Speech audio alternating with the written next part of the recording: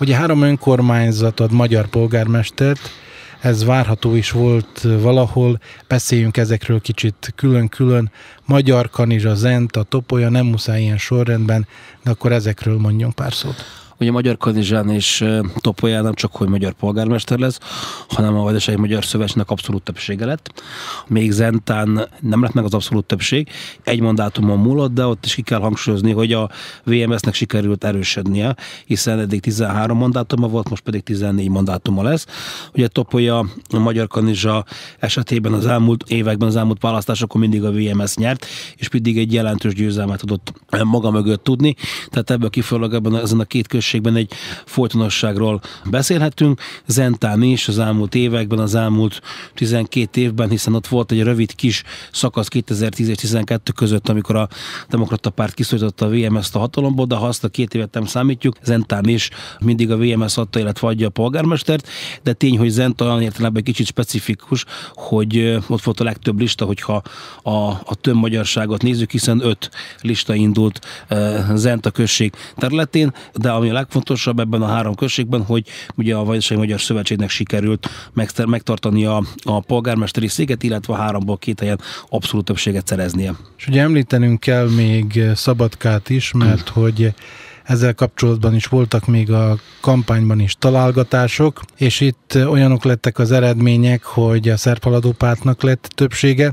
de azért a Vajdasági Magyar Szövetség is az erőviszonyokhoz képest is jó eredményt tudott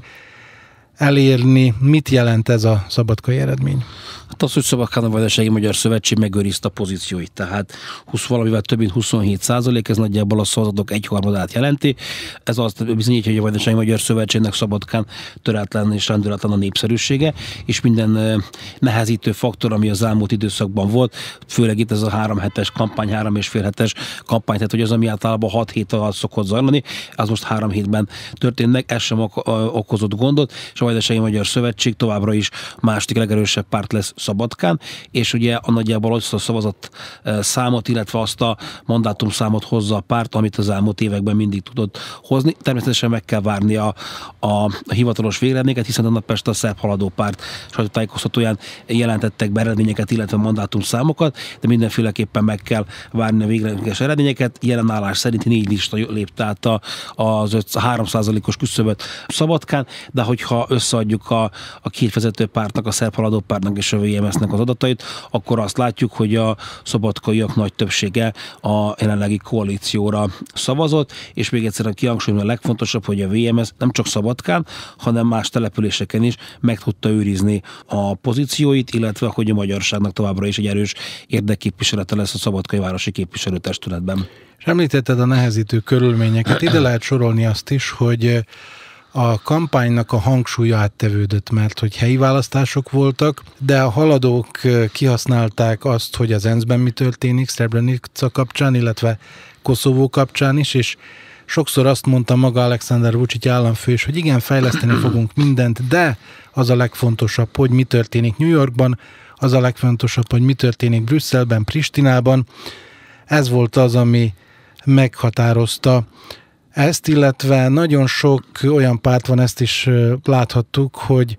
akik nem tudtak labdába rugni, és bebizonyította ez a választás is, hogy igazából, ha egész Szerbia területét nézzük, akkor is elmondhatjuk, hogy két olyan erő van, aki igazán mozgósítani tudott, azok a haladók, illetve a Vajdasági Magyar Szövetség. Hát igen, most ezt kicsit több részre bontanám. Először is ugye a szerb haladópárt részéről láthattuk, hogy hatalmas nagy koalíciót hozott létre, e, és ez azért mondom, hogy hatalmas, mert rengeteg pártból állt. Tehát lényegében ők a szavazat maximalizálásra mentek, és ugye maguk mellé sikerült átadni a szerbiai szocialista pártot, és a szerbiai szocialista párt mindig önállóan indult eddig a választásokon, de ugyanúgy a szerb radikális párt is, a fogadalomtevők pártja, a nyugdíjas párt és így tovább, lehetne tovább sorolni a pártokat, és igaz, hogy a pártok nagy része, az említett párt nagy részének a támogatottsága minimális, de ha valakinek van 2 a másiknak másfél, a harmadiknak négy, akkor ezt már összeadva is 5,5 százalék, tehát valószínűleg ez is hozzájárult ahhoz, hogy ilyen jó eredményt tudtak elérni a, a haladók. Továbbá, ahogy te is említetted, az elmúlt három és fél négy hétben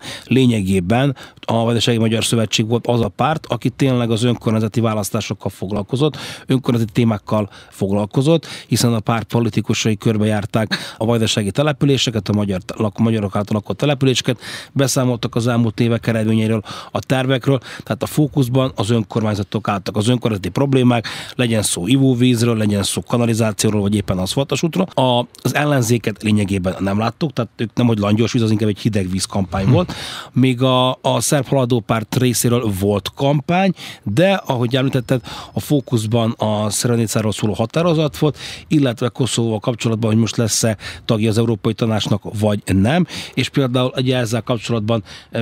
lényegében erről is szóltak a nagy gyűlések, tehát a Újvidéken, Belgrádban, Nisben, amikor nagy gyűlést tartottak, akkor ezek kerültek elő, kik a hazafiak, ugye, illetve, hogy nem olyan könnyű, tehát ezt többször kihangsúlyoz például a köztársasági elnök, hogy nem tűnik, úgy tűnik, hogy könnyű lesz a választás, de közben nem az, és hogy a haladóknak nagy győzelmet kell aratni. Tehát lényegében nem a helyi problémákról beszéltek, hanem országos politikát csináltak az önkormányzati választásból, és azt sem szabad elfelejtenünk, hogy a, akik elmentek szavazni, láthatták a szavazópon, hogy a szerb haladó pártnak a listája a köztársasági elnök úr nevével kezdődött, ami azt jelentette, hogy ugye a köztársasági elnök úr egy húzónév, és lehet, hogy már a neve, hogy megjelent, már az is segített a haladó pártot, hogy a polgárok rá szavazzanak. Tehát a, az biztos, hogy a választáskon induló pártok közül, ha az egész országot nézzük, a VMS volt az, aki tényleg az önkormányzatokkal foglalkozott, a haladóknak a fókusz más hova tevődött át, de az ő esetükben sem láttuk azt a fajta kampányt, amit megszoktunk, az ellenzék pedig, mintha nem is vett volna részt a versenyben.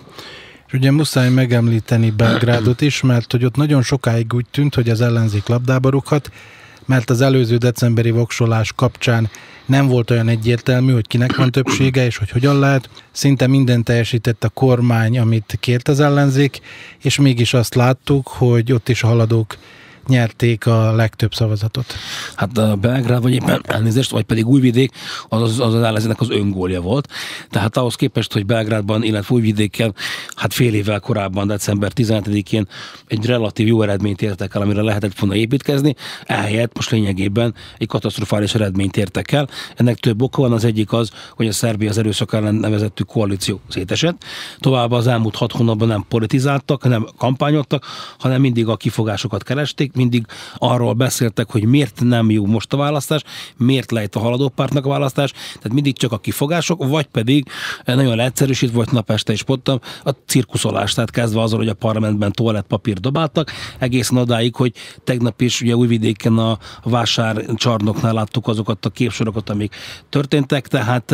egy önkormányzati választás nem arról szól, hogy most valamelyik pártnak van-e úgynevezett call centerje, tehát ugye telefonáló központja, hanem a helyi problémákról, illetve magáról a politikáról, és ugye az ellenzéknek is már eleve nehéz volt eldönteni, hogy akarnak-e indulni, vagy nem akarnak-e. Ahány település, annyi fajta kombinációba indult az ellenzék. Ugye az egyik legerősebb ellenzéki párt,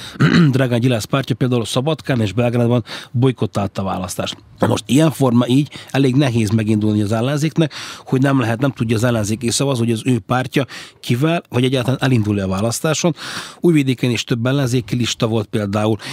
Belgrádban is több ellenzéki lista volt, és természetesen ennek a receptnek az eredménye az lett, hogy az ellenzék nagyon csúnyán alul maradt a választásokon. Na most persze biztos, hogy meg lesznek a kifogások, hogy miért a haladó párt nyert, és miért nem ők, de ezt már ismerjük. Az elmúlt 10-12 évben mindig ez történik a, a szerbiai ellenzékkel. Ezzel szemben a haladó párt egy nagy koalíciót létrehozott, hogy az előbb már beszéltünk róla,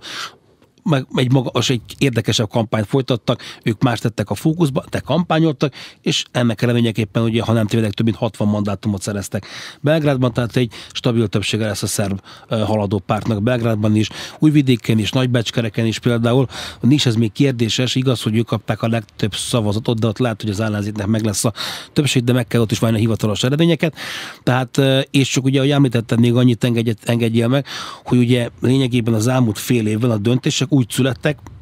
relatíve úgy születtek, ahogy az ellenzék szerette volna. Tehát későbbre helyezték a belgrádi idő, választás időpontját, összekapcsolták a belgrádi választást a többi önkormányzattal, módosítottak a választási törvényen például az át, tehát azok, akik átköltöztek egyik településre a másikra, hogy a régi településeken szavaztak, hogy ne legyen, az, mond, ne legyen az a lehetőség, hogy esetleg valaki azért jelentkezik át, hogy más településen szavazott. Tehát lényegében minden óhajuk, sóhajuk teljesült, és ezzel szemben vagy bolykottálták, vagy későn indultak el, vagy egyszerűen a kampányuk az egy, egy nem volt nevezhető kampánynak, tehát hogy az ellenzék itt hol számoltál magát, vagy ők mi volt a cél ezzel, ezt nem, nem, tudom megmondani, ezt őtől kéne megkérdezni, de hát nem is tudják, de lényegében az a tegnapi eredményük, az a saját öngóljuk.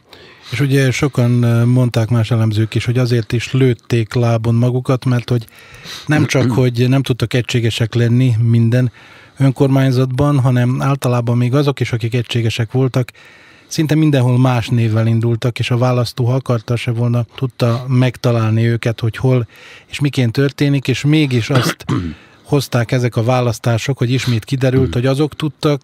jó és jobb eredményeket elérni, akik mozgósít tanítani tudtak, mert még mindig voltak olyanok, akik egyszerűen nem mentek el szavazni. De persze, tehát ugye egy önkormányzati választáson általában a részvétel kisebb. Ugye Szerbiában az elmúlt 20 évben nem voltak önálló önkormányzati választások, hanem 2008, 12, 16 és 20 folyamán mindig vagy parlamenti, illetve tartományi parlamenti választások kíséretében volt megtartva, vagy 12-ben, erre még választás is volt, hogyha a kedves rádióhallgatók emlékeznek, és ilyenkor mindig ez húzóerővel hatott. De amikor egymagával tartnak egy önkormányzati választást, akkor a részvétel kisebb. Ugye decemberben az országos átlag 58% volt, látható, hogy nap, hogy általában az 40 és 50% között mozgott a részvétel, tehát a, sajnos a polgárok egy nagy részének, tehát a politikailag aktív részének az inger küszöbét nem ér el az önkormányzati szint. Ami nem jó, mert az önkormányzat ugyanolyan fontos, mint a köztársaság. És ezért ilyenkor különösen fontos, hogy a politikai pártok, akik részt vesznek az adott község vagy város választási küzdelmében, minél inkább tudjanak mozgósítani, mert hogyha a pártok nem tudják kivinni a szavazóikat, vagy nem tudják a szavazótáborok nagy részét megszólítani, akkor ugye az fog történni, mint mondjuk az ellenzékkel, hogy a, elfejtettek kampányon, és most meglepődtek azon, azon, hogy a szavazók nem mentek ki. Tehát egy önkormányzati választás nehezebb, mint egy köztársasági vagy egy tartományi parlamenti, mert a polgároknál a hajlandóság sokkal kisebb, mint a, a másik választáson.